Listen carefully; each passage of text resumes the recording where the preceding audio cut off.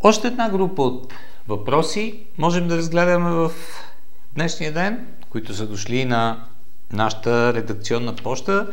Те вече не са толкова пряко свързани с състезанията в настоящия шампионат в Формула 1, а общо взето така касаят общо а, формулата. Първите два въпроса, които трябва да разгледам, са на Рашид Рашидов. Единият от тях е свързан с това каква е разликата между Team Principal, Team Manager, освен това, какви различни позиции има в отборите? Спортен директор, изпълнителен директор. Каква роля изпълнява всеки един от тях? Структурата на всеки един от отборите е различна във формулата. Има отбори, които са акционерни дружества, които са 100% собственост на една компания, какъвто е примерно случая с Red Bull. И в всеки един от отборите има просто различни хора, които раз, изпълняват различни позиции. Специално при Team Principal и Team Manager има много сериозна разлика. Team Principal е шефа на отбора, независимо дали той е със собственик или е назначен на тази длъжност, примерно в двете посоки, примерно Франко Уилямс е тим принципъл на Уилямс и е основния собственик на отбора, докато Кристиан Хорнер е тим принципъл на Red Bull, но няма никакви акции в отбора, е просто начало на тима, без да има собственост в него. Приблизително по близък начин стоят нещата и с Стефано Доменикали. Мартин Уитмарш е изпълнителен директор, тим принципъл. Много, много различни варианти има на организация във всеки един от отборите, така че конкретно може би трябва да, да отговоря на на този наш приятел за това кой каква функция има във всеки един от отборите. Спортен директор, изпълнителен директор, различни структури по различен начин е оформен всеки един от отборите. Втория въпрос е свързан именно с това как точно работят тимовете, колко човека има във всеки един от отборите, как са разпределени те, колко хора ходят на пистата. Много, много детайли има, които в е, една такава комуникация много трудно бих могъл да, да разкажа за всеки един от отборите.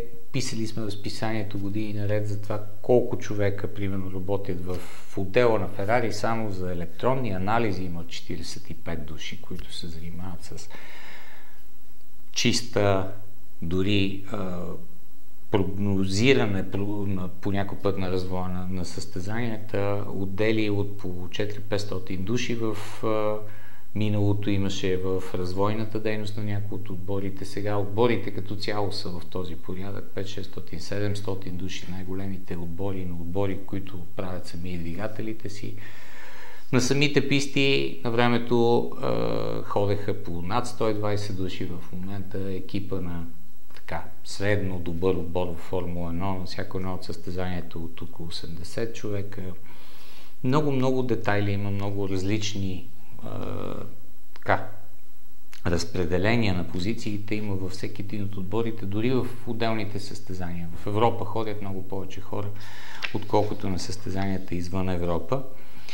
Друг въпрос, пак така, общата за Формула 1 е на Константин Стоянов и е свързан с договорите, които сключват пилотите и екипите, какво има в тези договори, клаузи, задължения на двете страни, какво представлява общо взето един такъв договор? Ами много са наистина обемни, сериозни, с много детайли всички тези договори. Още на времето Ален Прост мисля, че беше подписал договор с Макларан от порядъка на 40 и няколко страници. Днешните договори са още по-големи.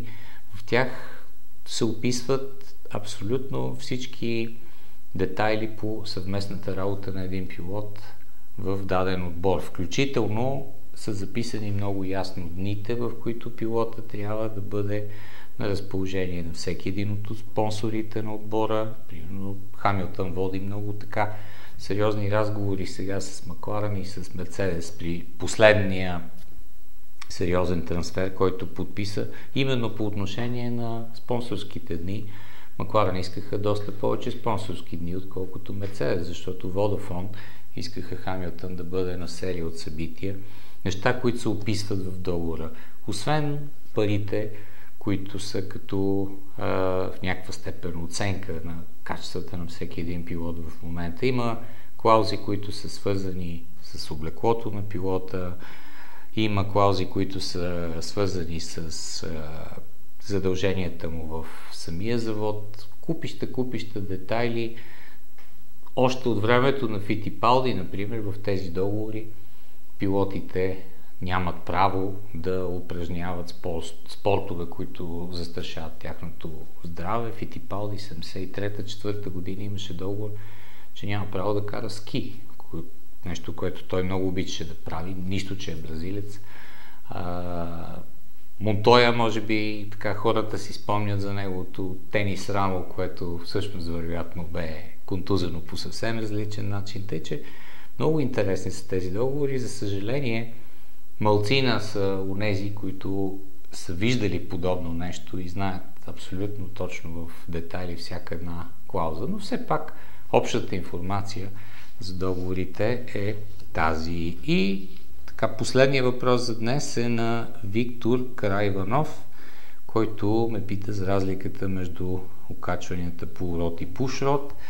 Доста говорихме за тези разлики и в а, самите нашите срещи и в списанието специални графики сме направили на основните разлики в схемите на пренасене на усилието. Просто, най-общо казано, при едното окачване усилието се предава през штангата за пренасенето му в горната част на кокпита, там където се прехвърля към амортисьорите и стабилизиращите штанги, с едно избутване на движението на въртенето след това на ролката, която пренася усилието, докато при другата схема всичко това е обърнато обратно в долната част на корпуса, в долната част на корпките се намират и ролката за пренасяне на усилие, и амортисьорите и стабилизиращите елементи. Самото разположение на штангата пък дава добри аеродинамични ефекти назад.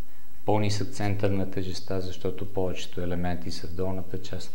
Това са основните разлики. Много по-трудно е обаче сега, след като толкова много години си работи в една посока, изведнъж от пушрод да отидеш на полурод, нещо с което се сблъскаха и Ферари, и Макларан тази година. От друга страна, нещата се получават. Любопитен факт е и този, че много по-бързо се сменят елементите в наглед по-сложното окачване полурод, отколкото в пушрод. В бокса тази година в Китай смяната на настройките на пушрод ставаше за около 14 минути, докато полурод за 7. Така че това са много финни детайли, като цяло двете схеми в крайна сметка дават много близки резултати, но трудно, трудно се а, стига до общ добър резултат при толкова драстична промяна, каквато направи Макларен специално. Плюс окачването и цел, цялостния пакет назад на автомобила е променен. Мисля, че за днес казахме достатъчно. Благодаря за вниманието и интереса. Ще бъдем отново заедно следващата седмица. Надявам се някъде над Монте Карло.